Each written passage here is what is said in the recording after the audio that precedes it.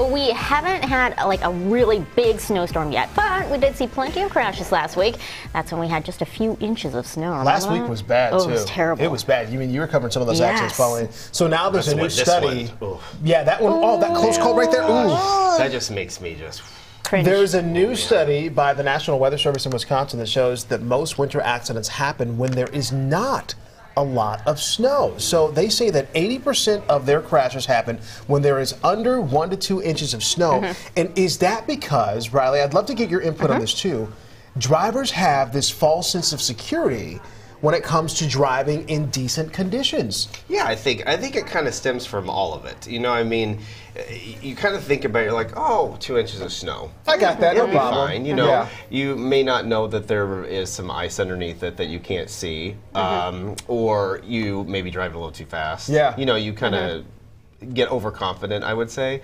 You kind of, you don't. I mean, we always remind people of the bridges, the overpasses, course, of you know, of that course. sort of thing. But it always happens, and I, and you know, and I've caught myself uh, getting, you know, going to a stop sign or a stoplight. All of I'm a like, sudden you start to- well, you stop at the last minute. And you're That's like, right. oh no, and then you just continue to slide Yeah. through it. And you're like, well, here Yeah. we go. I mean, you know, so I think it kind of stems from all of it, Yeah. honestly. And I was, yeah. I was just talking to MnDOT last week. I spent a lot of time talking to MnDOT last week.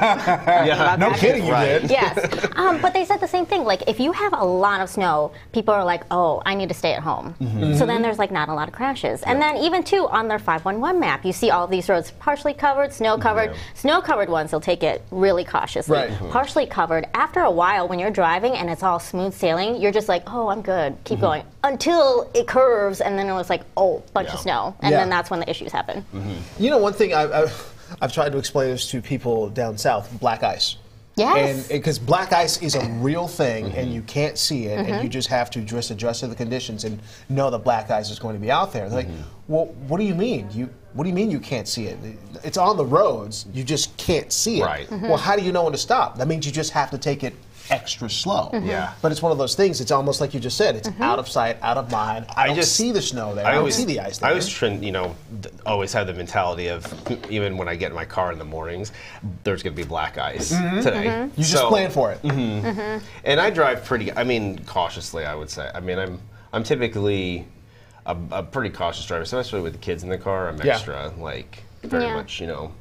Okay, so I asked Pauline this question before. This is from the Federal Highway Administration. Which state ranks the worst when it comes to deadly winter car crashes? Ooh, that's a great question. I don't. I would have to say I don't know. Wyoming. I Is would okay, not have okay. guessed. Minnesota Okay. came in at 11th. Mm-hmm. Wisconsin came in at 12th. Well, all right. So Wyoming, huh? Wyoming.